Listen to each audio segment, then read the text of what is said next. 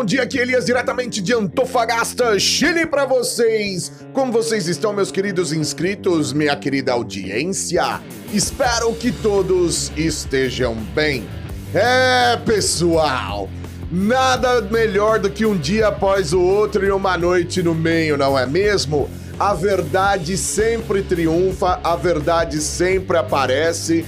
Mais uma vez, esse cara aqui que vos fala, mesmo sem ainda estar com o seu Xbox na mão porque não chegou a data de entrega e ainda sem uma gamer tag, eu ainda sei ler e ainda sei também ver aí as notícias do site oficial do Xbox chamado Xbox Wire, aonde eles parabenizam e também tiram um pelinho do Play esterco, né? Na, na verdade não é nem tirar o pelinho, eles só falaram a verdade, porque como eu já disse, tudo que o Xbox precisa fazer para vencer o PlayStation 5 é falar a verdade. Porque eu te falo, suporte verdadeiro de RD, RDNA 2 é somente no Xbox Series X e o S. Olha, antes eu falava que o Xbox Series S era o verdadeiro competidor do PlayStation 5. Só que agora depois dessa notícia aí também, essa confirmação, eu falo para vocês. Eu acho que até o Series S é demais pro PlayStation 5, hein? Chora, hater! Chora que o choro é gostoso demais. Eu tô nadando numa, lá, numa piscina de lágrimas, sonistita. Vamos lá. Eu vou dar uma lidinha aqui pra, só para vocês e pode deixar que depois eu já vou passar para o português, então não se preocupem. No Xbox Wire, né? Inclusive tem aqui, né? Ah, isso é notícia oficial, tá? Site do Xbox, não é nada assim, tipo teoria nem nada disso. E vocês vão entender as implicações. We here, the Team Xbox, would like to congratulate and celebrate our amazing partners at AMD on today's announcement of the Radeon RX 6000 series of the RDNA G- uh, 2 GPUs. It was an incredible to see AMD demonstrate the power and the potential that the new AMD RDNA 2 architecture can deliver to gamers around the globe. AMD continues to be an, industry leader in CPU and GPU innovation, bringing next generation capabilities to the PC, console and the cloud. Aqui eles dizem assim: que nós do time Xbox estamos aqui para felicitar e celebrar os nossos incríveis parceiros da AMD com o anúncio de hoje da Radeon RX 6000 e o RDNA 2, a GPU, né, os GPUs.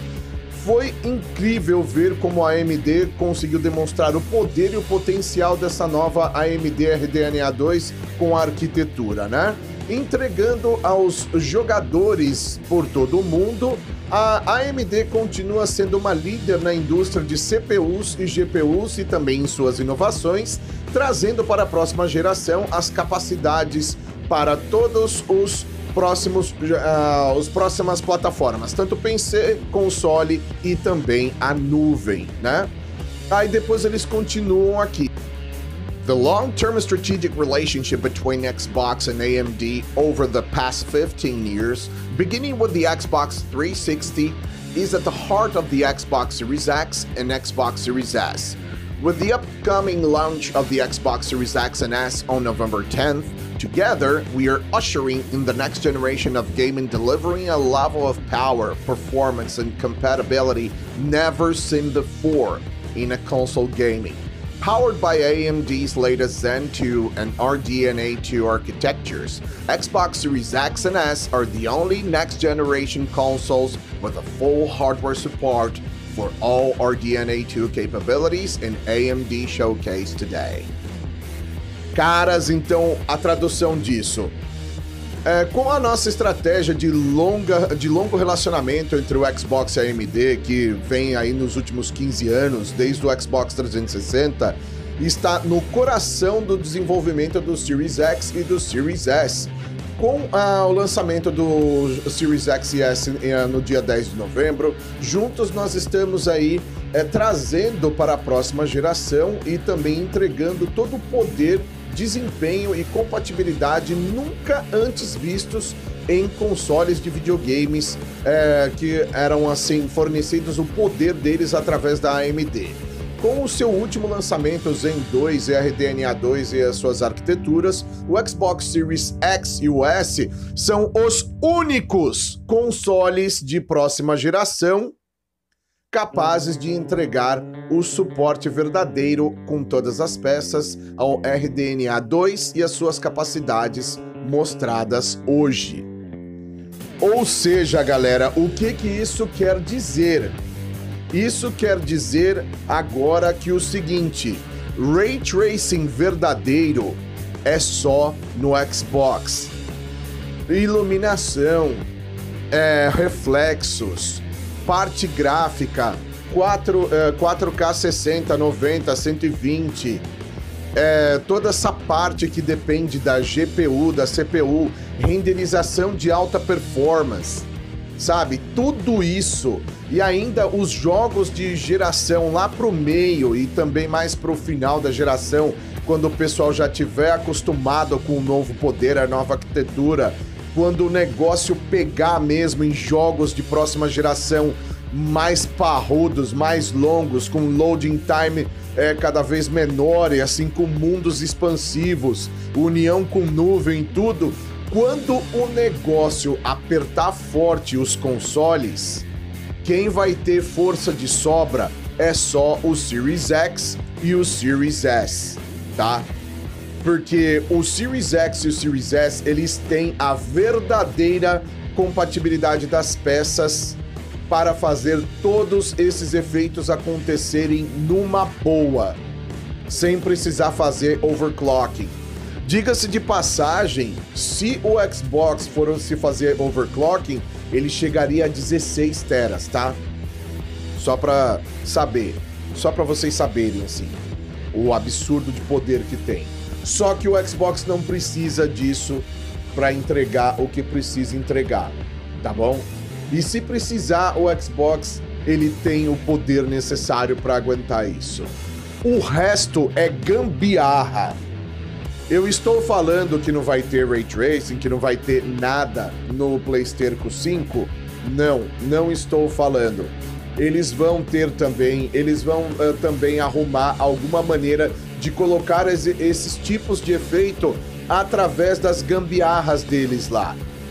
A gente também não pode menosprezar o inimigo totalmente, porque nós estamos lidando também com arquitetos de software japoneses, com pessoal de arquitetura japoneses. Esse pessoal também é muito criativo e com certeza eles conseguem de alguma maneira é, fazer isso acontecer. Só que assim no frigir dos ovos, agora por enquanto, é, é, enquanto é começo de geração, que os jogos ainda não tem muita diferença entre uma geração e outra, é aí que a gente, por enquanto, não vê tanta diferença.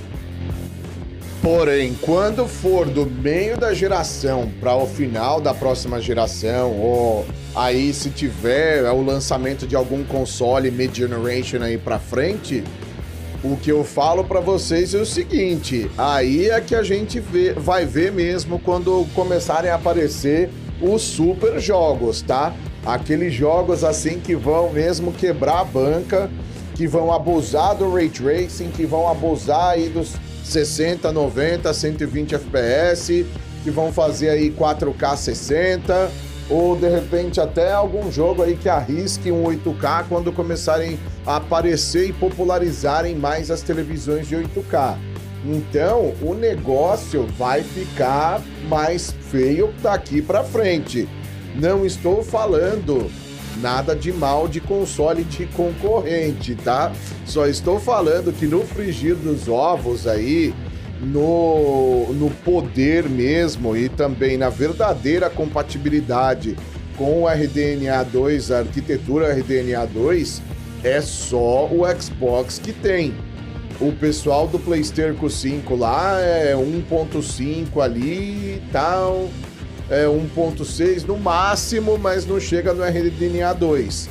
Não estou falando que os jogos deles não vão rodar bem, nem estou falando que eles não vão conseguir ter os efeitos. Só que é diferente você ter os efeitos de forma nativa e você ter gambiarra, tá? Você ter uma gambiarra. É, a gente deu um jeito aqui, né? É igual você, tipo, é, voar em um avião, você sabendo que ele tá colado com fita de silver tape ao invés de cola de aviação, né, mano?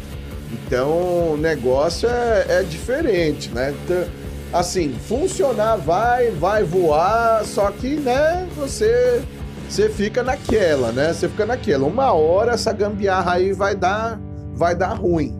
Então, não é, não é querendo tirar sarro do pessoal aí do Playsterco, não, mas já tirando, tem nego aí que fala que é o, o poderoso. O poderoso, né? É o poderoso. A, a, jovem fala sempre que é o poderoso. É, vocês têm que saber aí que é o poderoso, o poder. É. O poderoso peronomútil, né? Poderoso peronomútil. Mas é coisa que a gente já esperava, né? Isso daí a gente já sabia quando eu faço as comparações de que, assim, o, o Xbox é um, sei lá, um Phantom, que é aquele baita carrão da Rolls Royce lá, e o PlayStation aí é um, é um, sei lá, um Passat, tá? É, o pessoal fica nervoso. O pessoal fala aí que a minha comparação é exagerada, que a minha comparação é desproporcional. Desculpa, cara, não é desproporcional. E cada vez mais a verdade vai aparecendo e não fica aí varrida para debaixo dos cobertores, né?